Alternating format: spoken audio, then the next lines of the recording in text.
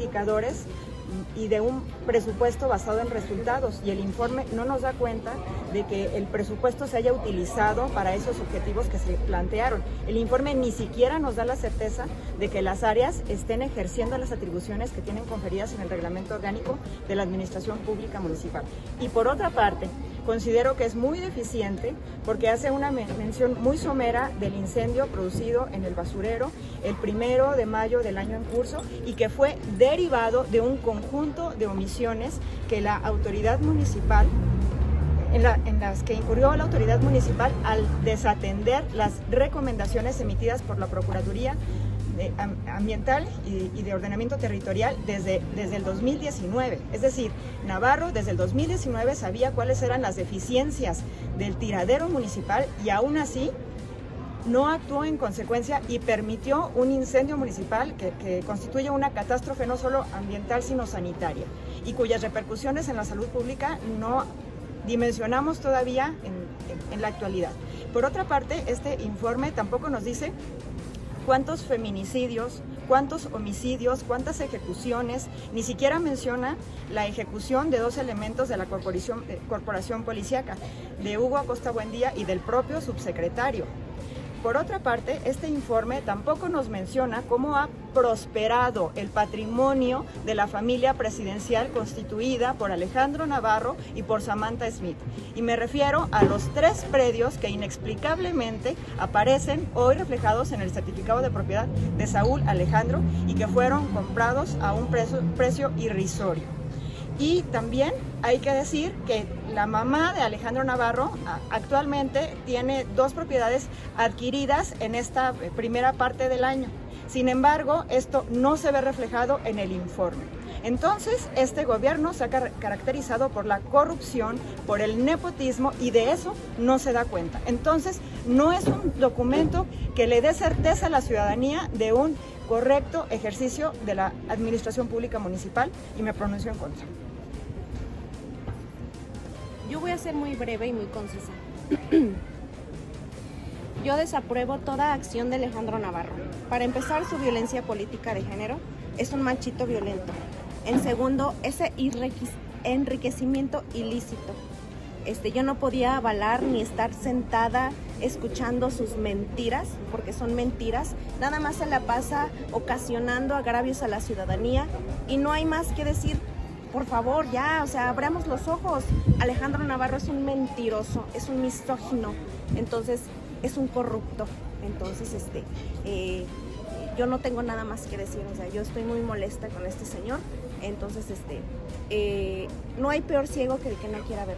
Entonces, este, eh, si no abrimos los ojos y hacemos un cambio por nuestro municipio, vamos a seguir igual. Va a haber el milagrito de que todas las personas que estén en el poder se hagan ricas de la noche a la, de la, de, la noche a la mañana, así como su hijo. Entonces, este, eh, yo no avalo a Alejandro Navarro y mucho menos a su actuar, porque luego dice que hace obras. Yo sigo viendo la ciudad igual de descuidada.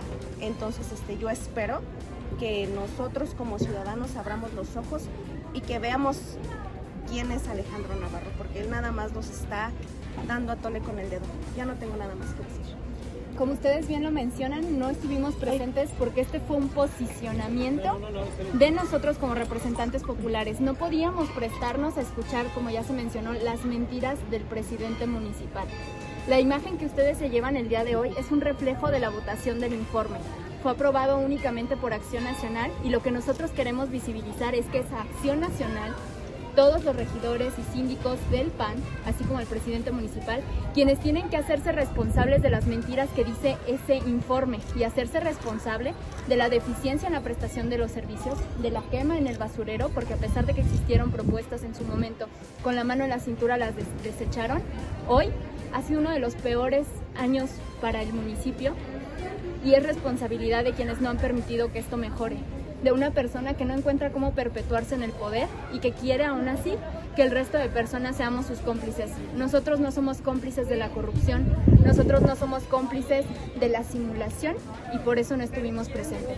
Muchas gracias por tomar entrevista.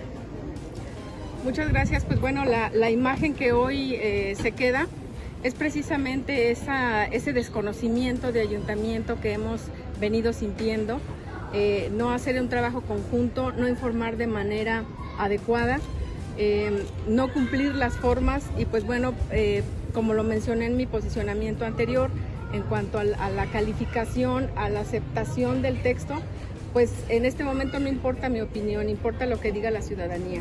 Lo reitero, revisen cómo están sus recibos de predial, cómo están sus recibos de agua, si realmente eh, los cerros siguen eh, respetándose y no construyéndose, y en fin, una serie de, cuestiones que ya he mencionado. Es importante que la ciudadanía se entere cómo están las situaciones realmente en el municipio. Y bueno, esta, esta manifestación es precisamente eso, dar por enterado que nosotros como eh, fuerza no del grupo esté en el poder, pues no estamos avalando esa información. Muchas gracias a todos. Yo voté en contra y sigo diciendo por la falta de irregularidades, falta de transparencia, falta de corrupción, una administración plagada de mucha corrupción, mucho nepotismo, favoritismo, y eso es lo que estamos tratando de decirles, que no estamos a favor de toda esta administración de lo que hace, de lo que está plagada, y más falta de cortesía política, como bien lo dijo nuestro compañero Ángel, no fuimos invitados hasta última hora y por, por, por presionando del informe que viene mañana. Entonces, falta de corrupción, falta de, de, de tener comunicación con su ayuntamiento. Yo creo que a estas alturas en lugar de estar, y, lo, como lo dije en la, sesión pasada, en lugar todavía falta un año para la administración pública municipal y todavía estamos en campañas. Ya estamos empezando con campañas, con dinero de qué? O sea, yo quisiera ver que ahorita este dinero estuviera en la administración, eh, falta mucho que trabajar. Si quiere subir el transporte urbano, pues que le inyecte al transporte urbano. Yo creo que esta administración todavía hay mucha necesidad, todavía hay mucho que trabajar en lugar de estar haciendo fiestas o estar construyendo milagritos o lo que, tengamos. Ah, no sé, bueno, esta acción de eh, abandonar la sesión, eh, que nos pudieran compartir si tiene alguna consecuencia, descuento en salario, no sé. Si nos lo descuentas es, algo, no estar a favor de todas estas irregularidades. Yo creo que el que hoy no nos hayamos presentado es la falta de irregularidades que tiene esta administración pública municipal. Yo quisiera agregar que este Gracias. tampoco nos da cuenta, como dice la regidora Lili, de la cantidad de recursos públicos invertidos en la precampaña electoral de Samantha Smith. Recordarle a la ciudadanía que si ella llegara a quedarse con la candidatura a la alcaldía, representa ni más ni menos que la continuidad de la corrupción y el nepotismo. Y aprovecho para invitar a, mis queridas compañeras y a mi compañero de oposición, a la ciudadanía, a que presentemos juntas y juntos una denuncia por enriquecimiento ilícito mañana a las 3 en el Ministerio Público de la Lógica. Porque ya debemos estar muy cansadas y cansados de tanto robo.